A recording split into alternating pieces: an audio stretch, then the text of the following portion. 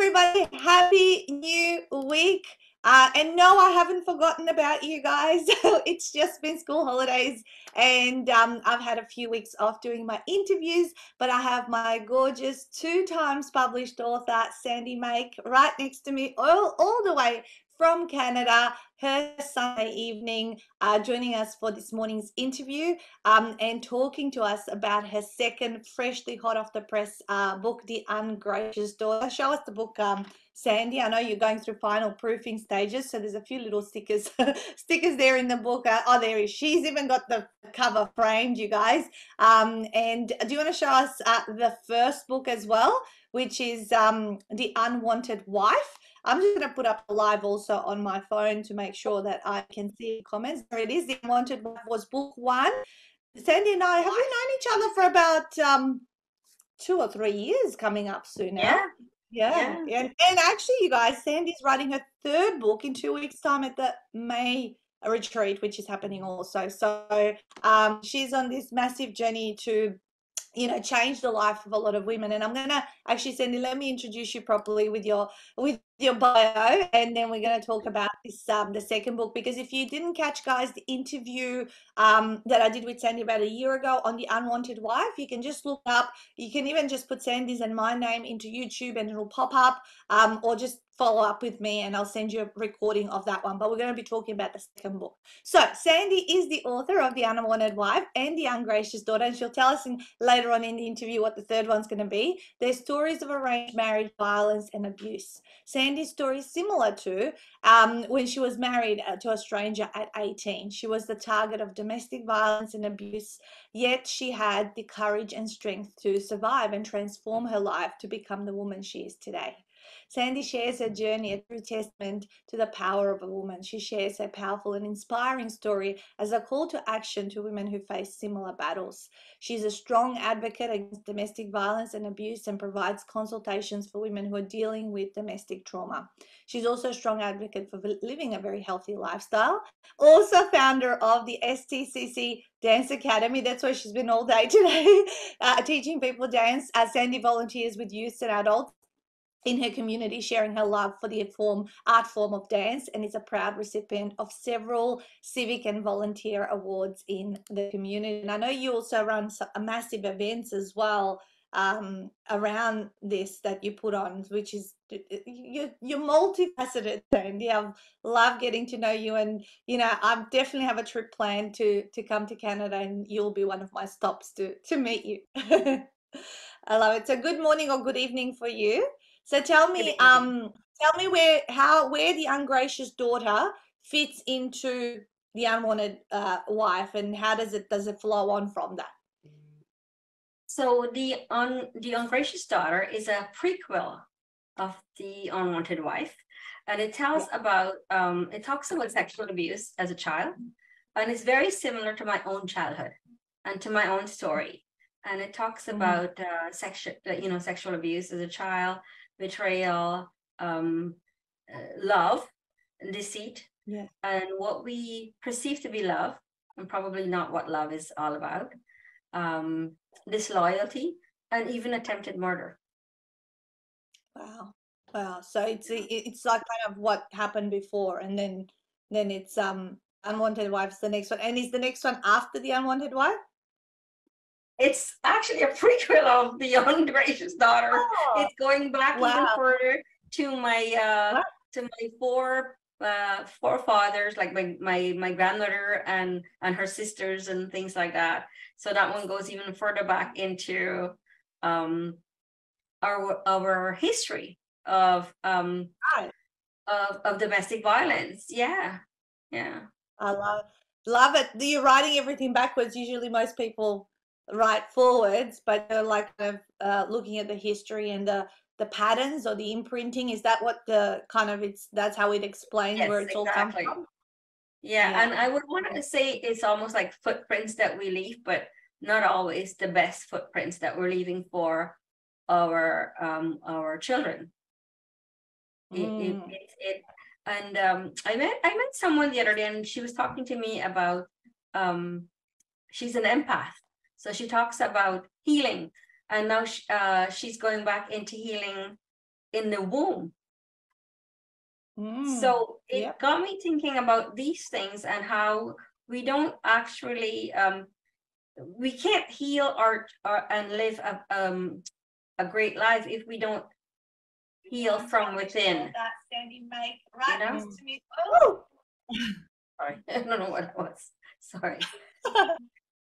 the the interview replaying yeah no, all good. Um yeah it's it's so interesting because i know um there's generational imprinting that you don't think is happening but it is and on such deep levels um that it has been discovered that then you know you kind of even as much as you try to be an amazing parent there's so many other things that i guess go through the history. So within the ungracious daughter what what would the reader get out of you know um reading that one?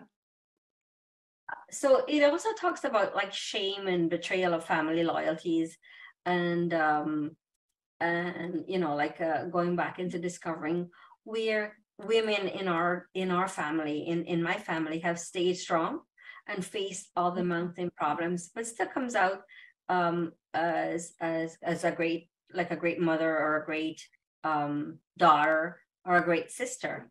Even even going through all these things coming out as um like i have a lot of respect for my mother. Um although um you know she's been through a lot herself. My grandmother has been through a lot herself. They still were, was able to provide for us and give us a good lifestyle even though um there was so much betrayals and so much deceit and so much family um secrets yes we still did not have a bad life. You know what I mean? yes yeah In a sense So what- where okay, so they did not know that that that I was being abused, right? But on the other hand, uh we I had a lot of fun with my granddaughter. I had a lot of um great things that my mom did with us. So, you know, it was almost like you don't know, right? It's like this. Yeah so where did the name the ungracious daughter come from So the ungracious daughter, I always thought that I was ungracious for being um for telling the truth, for talking about the Mhm. truth and for telling what had happened to me um as a child. And it, growing up I was uh, uh, sexually abused by my uncle and Mhm. um and so I, I thought because I told the truth that that I was being ungracious to my family. But um when when i started writing the book and and as you read about the book it starts off um me or or the person like like i didn't really write it as me. I had to write it as a third person yes. party as you know. Um and i continued that from the unwanted wife to the ungracious daughter. I continue with the same um characters in in in in the second in the second book because it's a prequel and it tells about um about Maya, who's the character in this uh in this story and in the previous story. Tell about her talking like healing and healing in in a sense where she told she told her story to her husband or to her future husband at the time. And so it's going back and forth between telling the story and going back to the past. So so it also whilst t- telling her story to Scott, um, the the whole thing changed towards being talking about sexual abuse to talking about family betrayals and talking about Mm. um, what had happened as as how she remembered it as a child what had happened to her parents to her sisters to her uncles and and so that ungracious daughter came from maya wondering is she the ungracious daughter? Is it somebody else? You know it could it be her sister? Could it be somebody else right? So the ungracious daughter actually should have a question mark at the back of it. You know at the end of Wow. at the end of the sentence where it says the ungracious daughter i should have put a question mark.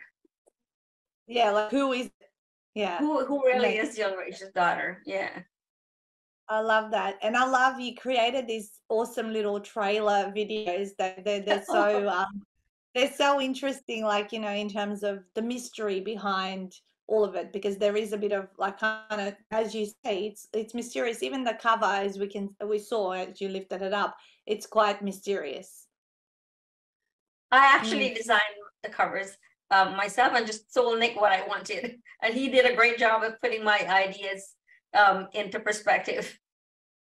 Yeah, and I love that, you know, and and they're very um you use the same font among between the two covers, the book one and book two, and if that's the pattern. Obviously, you're going to go with book three as well.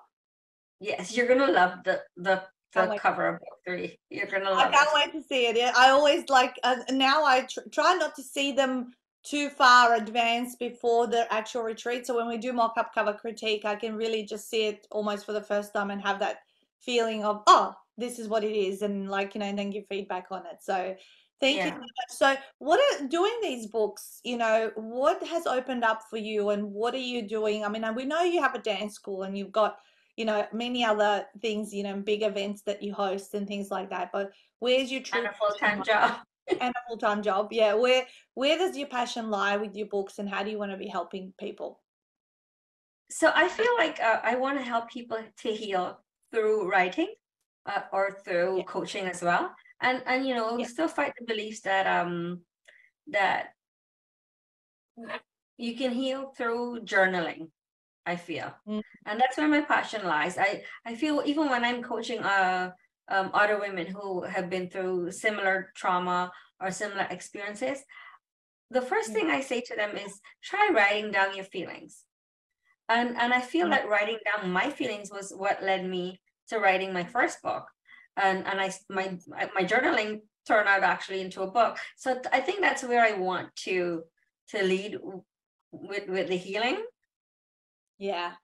Because really, you uh, you can't delete this out of someone's life.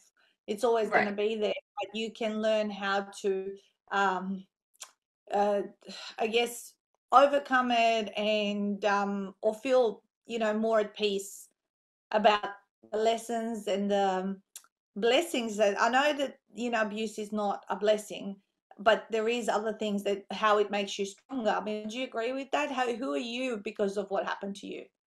Definitely. And I always say that it's sad to say that I ha- it was meant to, to be it, mm. because you can't say you you were meant to be abused or you were meant mm. to go through domestic violence. Yeah. But in a sense, it, it led me to where I am and who I am today and why I'm able to help women. Because I can't help, I couldn't have helped people if I didn't go through it myself or I didn't no experience it myself, you know? Yeah, you'd be a hypocrite, in, right? Because yeah. In a sense, you you've, it's sad that I had to experience but that, but I feel um know it, I, I want to use it as a positive to be able to to help women and talk about it, you know? And that's ultimately the outcome of why you want people to journal and bring out their stories is how can they use their stories as a positive? Because if we do this at a grander scale worldwide, and more people uh, have that self awareness or feel empowered because of it, um, then we can shift and change the way the future is in the future generations, right? Exactly. Uh, and, and like I said, like even you can journal, you don't have to, it, it doesn't have to lead into a book, but journaling does really heal. Yeah. Uh, and I'm very, I have a very strong um, um, how you would say like i have a very strong you're a strong uh, advocate for it. Yeah like yeah i have a strong passion like a like a passion for for journaling because i know that it it it healed me. Yeah yeah.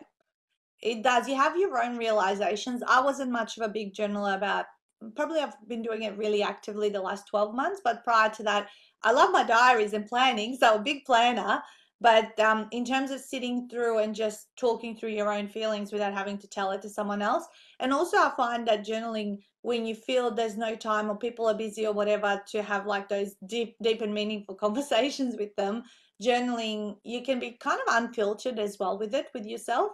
Um, and you don't need to like some things you might feel uncomfortable telling other people but if you're just telling telling it to yourself in your journal then it's you don't have to filter yourself you can just let it out and it does make you feel better it's, it feels like you're sharing a problem with someone but you're not really but you are no exactly and you're clearing your head i feel and and and like you said it's unfiltered and and and i try to say to people when they're doing their journaling, and I even tell this to, tell this to my kids.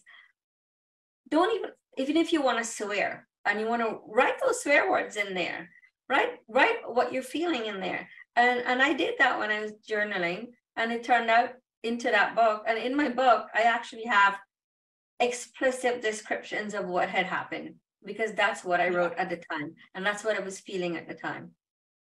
Yeah, yeah, I love that. What does it um take? Like, you know, a lot of people, and I want to explore this a little bit with you. A lot of people are nervous about sharing stories like yours, right? Um, you know, of people who might read them, of being vulnerable, you know, on a global scale, because this is now published and available for everyone to to check out. You know, how did you get over that? And how do you like you know how do you approach it because it is a lot of people will give up on their book dream because of that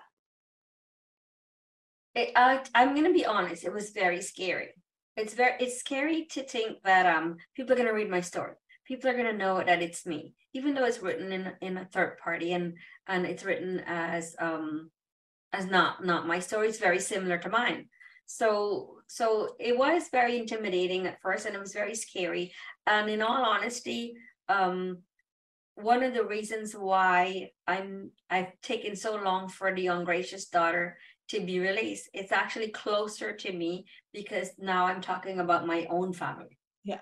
And I'm talking about what had happened in my in my parents' home. Mm. Right. Mm. So it, it is it is scary in the beginning, but getting over that um that hump of oh my god, everybody's gonna know, you know, everything about me. Um it also is very empowering. It's an empowering journey because mm. you're releasing everything. It's almost like a big relief. You it's, it's a bit of closure to that part of your life, right? Yes, exactly.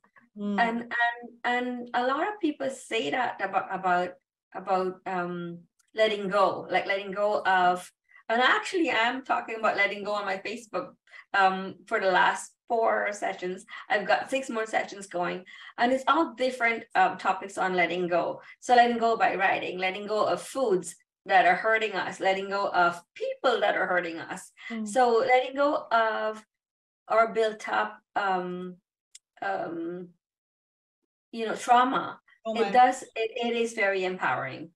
Yeah, yeah, and and this is what I try to uh, say to my budding authors that come to that initial seminar that we do. And you were there, you know, two and a half years ago, however long it was. And I do remember the early six months of us working together. How many times we had conversations around what will happen, who will say what, how do we do it, you know. But the the great thing was you were willing to listen and get the mentorship and to just have someone to bounce ideas um, off of and just to get support.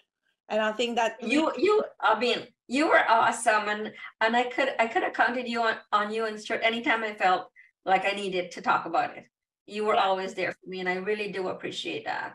And I think that helps a lot. And we appreciate you like in, entrusting us with this this story. And I absolutely love following you and I know you're going to be in my life for forever and ever you know like and I just um love seeing how much you've grown in the confidence as an author okay yes. and how um content you are with what's happening and what's about to come and happen and all that sort of stuff. And and that's what i see where you step up and other people are you know i want to be like sandy. I want to you know how did she get to where i am? And this is what your coaching and mentoring is all about is showing them those steps because they're probably 10 steps from where you started off um, off from. What would you be your best advice for someone wanting to do something similar? I would say focus on your strengths mm-hmm. and and the courage the courage to do it and and and expect don't expect um society to always stand with you but also expect society's expectation that you are probably not you're, you're telling uh, sinful family secrets or or you're you're telling uh, things that people might not want to hear um, or they don't want to know but stand up for your yourself stand up for your uh, your beliefs and and and delve into yourself and find that strength and that courage and that bravery mm-hmm. and you will find that empowerment Yeah, yeah, I love that. And I guess people who've been through uh, sexual abuse, trauma, you know, things like that, they their self-esteem and confidence probably would be lower than say someone who hasn't been through that. So, you know, and if you had the strength to get through what you did go through, you know, That tap into exactly. that strength and then write your story because it'll just it'll be the next level of evolution. I always say writing a book is not about your book, but it's about the person you become at the other end of it. You know, does that ring true for you? I mean, I, I know you. Oh my God, definitely. I mean, if you would go back and look at the interview you did with me a year ago and Yeah. how timid I was and how Yeah. um scared I was to talk about anything, Yes. you know, and and I would say, look at me now. I'm not afraid. I'm not afraid to talk about it. I'm not afraid to bring it um from under the carpet, as we as we said. Yeah. Um, I'm not afraid to share my story. And um, and even though I'm I have to write it as a third party, um, it is very similar to mine, and I'm not afraid of talking about it. And one instance that came up, um, I was visiting some family last month in February, and one of my cousins came up to me and he said to me, um, I my heart is breaking for you because you were my favorite cousin, and I never knew you were going through that. Why didn't you tell me? Mm. There So it's it's yeah, it's coming out in a in a in a sense where now I can talk about it with with my cousins and I can talk about it with my family. And not all of them is bashing me or hating me because I'm telling the truth. To be honest with you, I have 99% support. Yeah. Yeah. And Yeah. and this is a tough story. It's a big story that you you know Mhm. you're writing and sharing and all that sort of stuff. So anyone that's in this situation, please, and you've had a couple of comments here, very brave from Debbie, and other people are watching and um, being inspired by you. So um, so talk to me. You know, you've done the program now. A couple uh, well, you've done two uh, retreats. You're about to come to the third one. You're doing it fully and completely every single time what do you see the benefits? Because sometimes people do the program fully and completely, and then the next time I'll just get a publishing package or you know um, do it on my own. But then they go so much slower. I find. What do you find the benefit from coming through the three day program for you to be um, in terms of finishing books? Uh, to me, it, first of all, I did had no clue where to start, so that was one thing that that um that I'm very grateful for. And and I find like the the the biggest thing is the support. Like Mhm. if I had to do this on my own, I'd be lost. Yeah. you know and even now i've done it and i still need help. And i still call out to to everyone. I call out to Babe, i call out to julie i call out to you. I need i need that support and you guys are there for me. And and i think that it's just massive. It's a massive thing that you have that behind you.